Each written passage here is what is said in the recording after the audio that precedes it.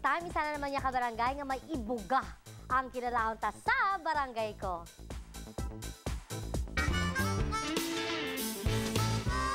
Mayong aga, mga kapuso, ako gali, si Roda, sa Barangay Ingore. Updin nyo ako, magalibot kita sa barangay ko.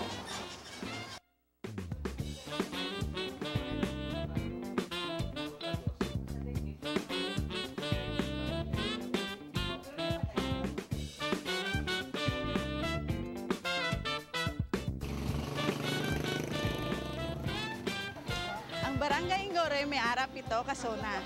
May population nga 2,500 kag ang major nga Pilangabuyan dire amo ang libod sang mais. Kag ang Barangay Ingore ang pinaka number one nga ang pinakamataas nga real property tax sa bilog nga Iloilo.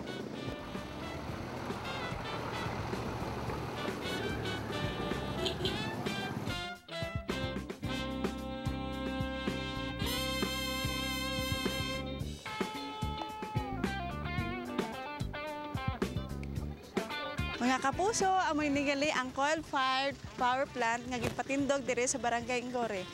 Amo ini ang proyekto nga pinakadako kag nakabulig sa mga pamuluyo nga makatrabaho kag maka, makabuhi sa ila pamilya. Nagumpisa ini since February 2009. Subong amo na ning itsura niya.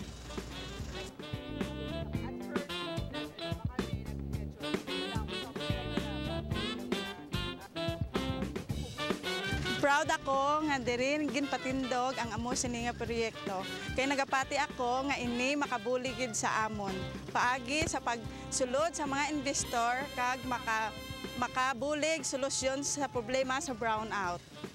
Kag kun magaabot na ang tion nga magakadto diri ang mga investors, ang tax nga igahatag sang ini nga proyekto ipa ipaabot man Japon sa mga pamuluyo.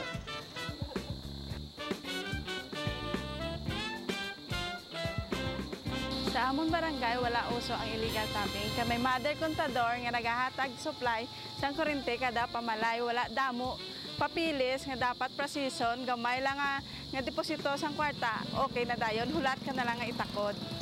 Halin sa mother kontador, i-diretso sa submitter pagkatapos i-distribute sa kada pamalay bala. Dire sa zone 1, halos tanan-tanan nga pamuluyo, naka-submitter na.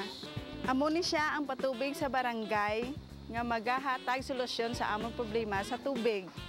Mga kapuso, sa sulod sa 34 ko nga pag-start diri sa amon, bag-o pa lang ko katilaw sa amon nga proyekto. Dako gid nga pasalamat nakon kag sa mga pamuluyo tungod sa proyekto nga hindi na kami makapanag-ob sa malayo.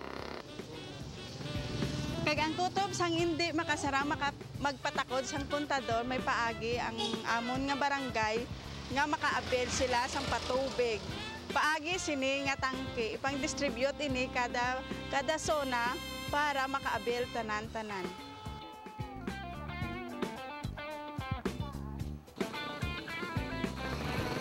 Mga kapuso, sa likod ko ang bago nga gina-construct nga barangay hall. Madamo nga salamat sa inyo pagupod sa amon. Kabay pa nga nakahatag kami leksyon sa inyo. Ako gali si Roda sang Barangay Ingore. Proud ako sa barangay ko.